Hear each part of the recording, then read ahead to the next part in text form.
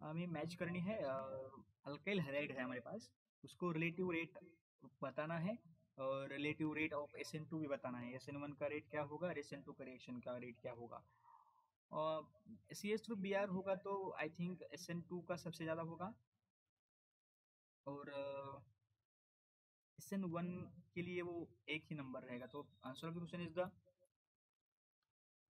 for S N one में क्या है? Tertiary is more important secondary is less and less again primary तो P B sorry A के लिए क्या है?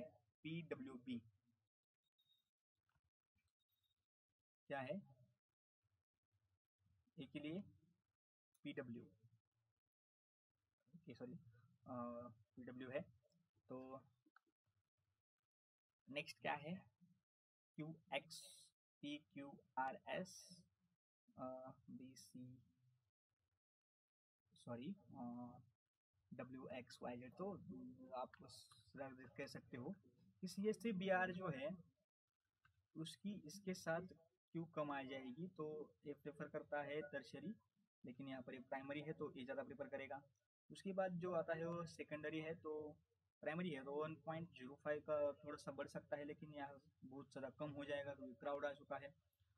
तो उसके बावजूद भी एस एन वन की आप यहाँ देखेंगे तो बहुत कम हो जाएगी सेकेंडरी है अभी तक तो।